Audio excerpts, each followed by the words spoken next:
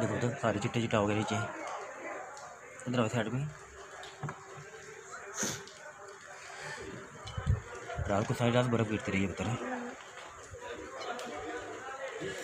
अरे जनाब, आज आठ दिन इंतज़ार के बाद वो गाड़ी आ गई, जो फुल स्नोबारी शुरू हो गई है।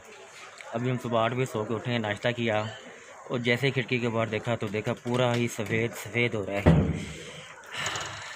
और यही देखने आए थे हम लोग। बहुत मज़ा है। आप लोग भी आए, आपको बहुत मज़ा आएगा।